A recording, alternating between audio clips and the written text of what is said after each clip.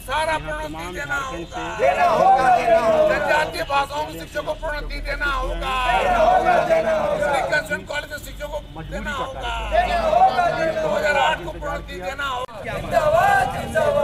नमस्कार, आप देख रहे हैं बिहार झारखंड के सबसे बड़े YouTube news channel live cities को, और मैं हूँ आपके साथ प्रियांक सौरभ। खबर झारखंड से है, जहाँ रांची विश्वविद्यालय के शिक्षक अब सातवें वेतनमान लागू करने को लेकर प्रदर्शन कर रहे हैं। जी हाँ यह जो तस्वीर जो आप देख रहे हैं, यह रांची विश्वविद्यालय की है, जहाँ शिक्षकों ने सातवां वेतनमान लागू करने को लेकर हंगामा किया, एक दिवसीय धरना प्रदर्शन किया। इस दौरान शिक्षक राजकुमार ने क्या कुछ कहा है, पहले आप सुने। भिन्न भिन्न मांगों को लेकर आज हमारे सबसे पहली जो मांगे हैं, वो सेवेंथ पे लागू करने से संबंधित है। राज्य के सभी सेवाओं में सातवें वेतन का जो वेतनमान है, वो लागू हो चुका है।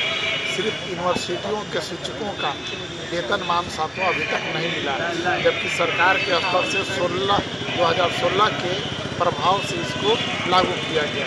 लेकिन देनदारी अभी तक शुरू नहीं हुई। तीसरा, हमारा जो सबसे अहम और महत्वपूर्ण मांग है, वो है प्रोन्नति से संबंधित। प्रोन्नति का वाक्य ऐसा है कि राज्य के जो शिक्षक जिस पद पर बहाल हुए, उसी पद पर सेवानिवृत्त हो रहे हैं। इस विद्यालय में प्रोफेसर और न रहने के कारण या एसोसिएट प्रोफेसर न रहने के कारण एस टी और एस सी के पद जो प्रिंसिपल के हैं प्रोविसी के हैं विश्वविद्यालय को होना चाहिए, राजभवन को होना चाहिए और सरकार को होना चाहिए। क्योंकि राज्य अस्मिता और गौरव इसकी उच्च शिक्षा से ही होती है।